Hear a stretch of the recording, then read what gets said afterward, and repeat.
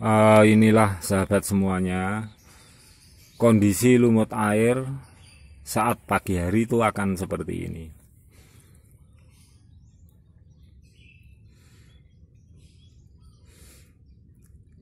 Jadi kondisi lumut air di dalam bak yang saya budidayakan yang sudah produktif di saat pagi hari itu akan seperti ini ini coba kawan. Tangan saya saya masukkan. Nah, dia akan roboh seperti ini.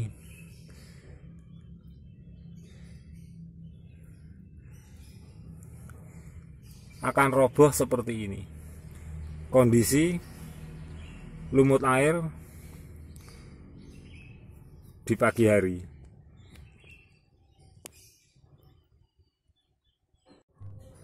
uh, kawan inilah uh, lumut air yang saya budidaya di dalam bak uh, pada siang hari kondisinya seperti ini. Tadi yang saya upload itu di pagi hari ini sore hari. Ini siang hari seperti ini. Nah ketika terkena matahari lumut air ini akan berdiri. Nah yang perlu kawan-kawan eh, semuanya ketahui di sini jadi ketika lumut air ini terkena matahari berdiri. Nah, berdirinya lumut air di sini adalah perkembangbiakan. Sebagai bukti kawan. Nah, ini ini berkembang biak lah ini. Lah, ini berkembang biak. Jadi, andekan tempat bak ini tingginya 10 cm, 20 cm atau 1 meter. Jadi perkembangan lumut air di sini akan berdiri terus mengikut berapa tingginya tempat untuk budidaya dari lumut air itu sendiri. Jadi kalau bak ini andai kan ditambah setengah meter, lumut air ini akan tumbuh juga akan tumbuh juga setinggi 50 cm atau 1 meter. Nah, inilah sedikit tip pemberitahuan saya di saat siang hari. Lumut air ini akan berdiri dan akan berkembang biak seperti pohon-pohon. Jadi mengikut berapa volume air dan tempat ketinggian air tersebut, lumut air akan mengikuti ketinggian air tersebut.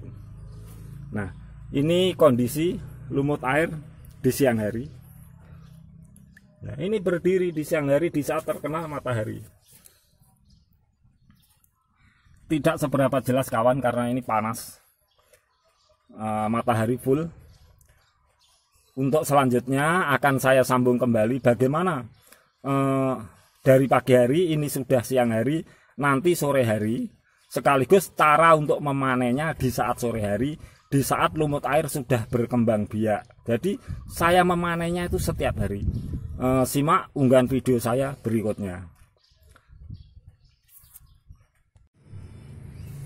e, kawan baiklah kawan ini saya lanjutkan setelah pagi hari kondisinya lumut air itu akan ambruk seperti itu. Nah, ketika siang hari akan berdiri. Nah, ketika siang hari itu berdiri terus menerus ke matahari sampai sore, akhirnya eh, lumut-lumur uh, air itu akan berkembang biak. Nah, ini kawan, perkembang biakan lumut air kalau sudah tersinari oleh matahari. Itu seperti ini. Jadi kita itu siap setiap hari untuk memanennya. Jadi cara saya untuk memanen biasa kita siapkan tempat seperti ini. Itu seperti ini kawan. Cara memanennya nah ini. Nah, jadi ini sebagai bukti kawan. Nah, lumut-lumut air yang di atas ini adalah perkembangbiakan dari lumut air eh, Nah, dari lumut air yang di bawahnya, maksudnya dari bawahnya itu terus meninggi, akhirnya melebihi ketinggian dari air yang terjadi seperti ini. Lumut lumpanya seperti mengambang di atas kawan. Ini sebenarnya lah ini meninggi dari ke bawah lah ini. Jadi kita bisa mengambilnya seperti ini tapi juga sebenarnya kita bisa mengguntingnya lah ini.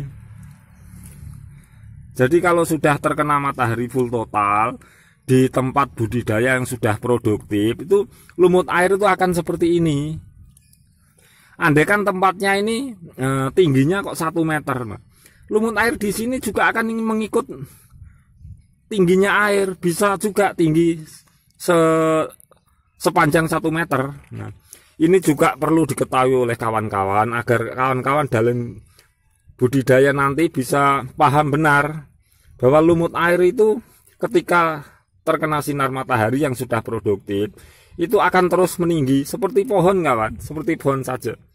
Seperti pohon saja jadi kita bisa memotongnya dari atas-atas seperti ini saya memanennya. Nah, ini setiap hari kawan.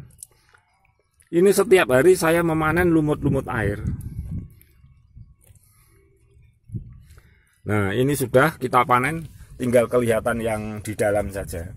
Nah, di dalam bak itu seperti ini.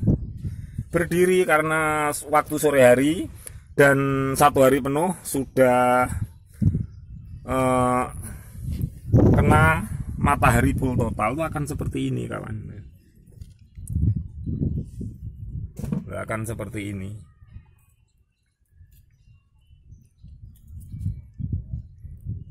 Kondisinya akan seperti ini. Nah ini kelihatan juga batu-batu yang ada di dalamnya yang kemarin saya buat eksperimen. Itu kelihatan sampai sekarang belum ditumbuhi baru dibalut aja dibalut oleh lumut-lumut air itu batu-batu belum ditumbuhi. Sekali lagi kawan saya ulang. Jadi bagaimana lumut air ketika kondisi di pagi hari? Bagaimana lumut air ketika kondisi di siang hari? Nah bagaimana sekarang ketika kondisi di sore hari? Jadi saya memanennya itu setiap hari kawan. Jadi untuk satu bak itu dapat sekian ini setiap hari. Nah, ini bukan panen secara istilahnya supaya Pak secara panen raya. Maksud saya semua di dalam bak kita kuras bukan. Ini hanya memanen, hanya memangkas pertumbuhan lumut-lumut air yang mengambang di atas air. Karena keterbatasan tempat di sini. Andaikan ini air tingginya pada tempat yang satu meter misalnya tingginya, lumut air juga akan mengikuti tinggi dari air yang disediakan. Nah inilah eh, agar kawan-kawan semuanya, sobat-sobat semuanya yang mengikuti unggahan video saya tentang budidaya lumut air itu bisa memahami dan mengerti bahwa sebenarnya lumut air di dalam bak itu di dalam air itu seperti pohon. Kita seperti memangkas pohon-pohonnya agar tumbuh-tumbuh tunas air itu persis kawan seperti ini. Ini sebagai bukti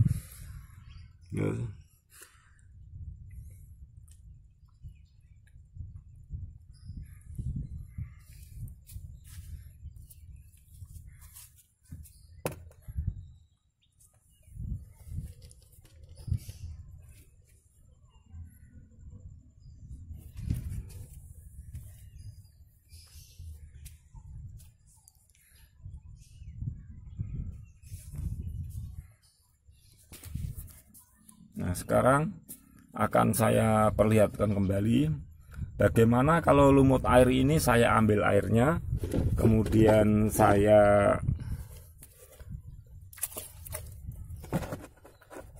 saya ambil airnya kawan. Nah pengurangan volume air di sini untuk budidaya lumut air agar terisi oleh air yang baru itu juga sangat penting.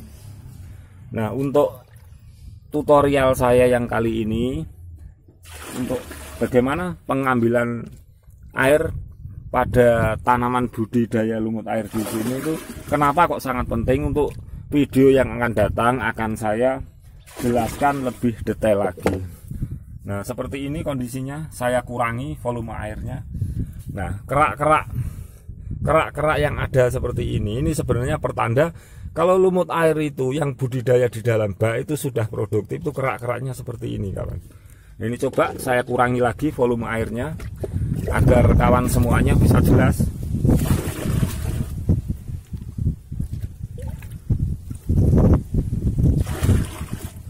Nah seperti ini kawan Agar kawan semuanya bisa jelas Jadi, ini volume airnya sudah saya kurangi separuh lah Ada kerak-kerak seperti ini kalau 10 hari sekali tentu kerak-kerak ini saya bersihkan dan saya ganti yang baru lagi. Itu akan cepat sekali berkembang. Nah, seperti ini kawan kondisinya.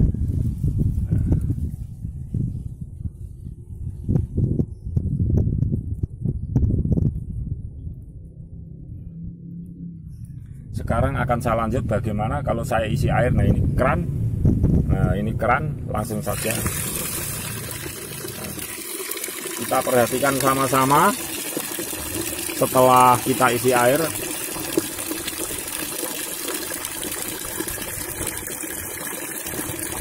Setelah kita kurangi airnya di dalam pot kemudian kita isi air yang baru kita tambah air yang baru setelah kita kurangi. Nah ini adalah sangat penting kawan. Ini adalah juga salah satu rawatan lumut air agar lumut air itu cepat berkembang biak cepat tinggi. Harus sering-sering kita kurangi airnya kita siramkan ke tanaman kita kemudian kita isi air yang baru. Itu sangat penting demi berkembangannya lumut-lumut air.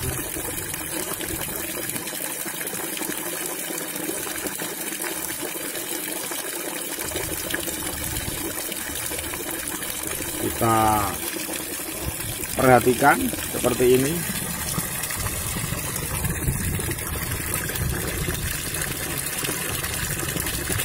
uh, setelah kita beli lumut beli air dari keran seperti ini nampak begitu jelas baik dan indah sekali pemandangan. Nah saya sangat suka seperti ini bermain-main seperti ini.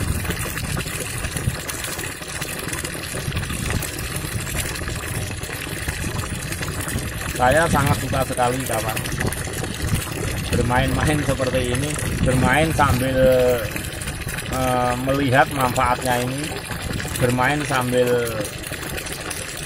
melihat dan mengambil manfaatnya tentang teknik budi air, budidaya air sini. Dan saya mengerti dan memberi tutorial ini semuanya. Sebab saya melakukan seperti ini tuh bukan satu tahun dua tahun. Jadi saya biasa bermain-main seperti ini sejak kecil. Dan baru-baru saja saya setelah upload di YouTube ini saya mengungkapkan hal ini melalui media youtuber. Sudah kita sudah ya seperti ini kawan. Setelah kita ganti air yang baru kondisinya itu seperti ini. Nah, seperti ini.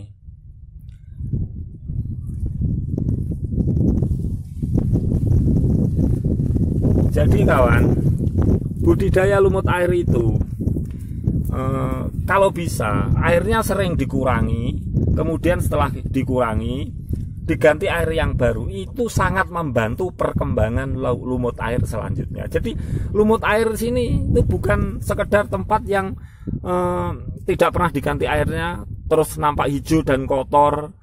Nah itu juga menghambat pertumbuhan lumut air itu sendiri jadi semakin sering diganti airnya misalnya dua hari atau tiga hari sekali kalau bisa satu hari sekali untuk budidaya di dalam bak ini lumut-lumut air itu akan berkembang dengan cepat akan berkembang dengan subur.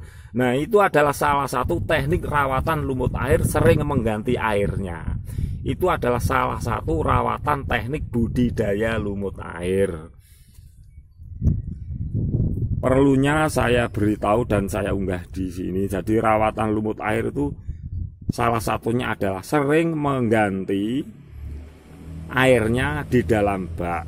Dalam arti kalau kita menguras secara total bisa 10 hari sekali, tapi kalau merawatnya untuk mengganti air itu bisa setiap hari karena e, air yang lama bisa kita siram-siramkan, kita ganti yang baru. Untuk kelanjutannya lumut air itu akan sangat subur sekali kalau airnya itu sering diganti. Nah, setelah kita ganti airnya akan seperti ini. Kondisinya kawan kita perhatikan sama-sama. Nah, itu batu-batu yang saya letakkan kemarin itu sudah dibungkus rapat. Nah, sekali lagi saya ulang, lumut air seperti ini itu sebenarnya adalah perkembangbiakan dari bawah, di ketinggian dari bawah kawan ini. Nah, berhubung volume airnya dengan ketinggian yang terbatas, Akhirnya lumut air itu mengapung di atas air. Nah, yang mengapung di atas air itu setiap sore kawan itu saya panen, jadi saya ambil setiap sore. Agar yang berkembangnya terus ke atas itu semakin baik, semakin baik dan yang di dalam itu semakin lebat. Baiklah kawan, eh, demikianlah eh, sekedar info atau tutorial saya mengenai lumut air bagaimana di waktu pagi hari bagaimana di waktu siang hari bagaimana di waktu sore hari setelah terkena matahari secara full total. Jadi lumut air itu perlu proses fotosintesis dari matahari secara full total agar perkembangbiakannya itu subur sekali lagi juga saya ulang andaikan tempat bak ini ditambah tingginya tingginya 10 cm akhirnya lumut air ini juga akan muncul menurut ketinggian tempat dan ketinggian airnya. Saya rasa eh, tutorial dari saya untuk sekilas tentang lumut air saya akhiri sampai di sini dan saya tentu akan menyambungnya di lain kesempatan akhirul kata wabillahi taufik walhidayah wassalamualaikum warahmatullahi wabarakatuh. Semoga bermanfaat kawan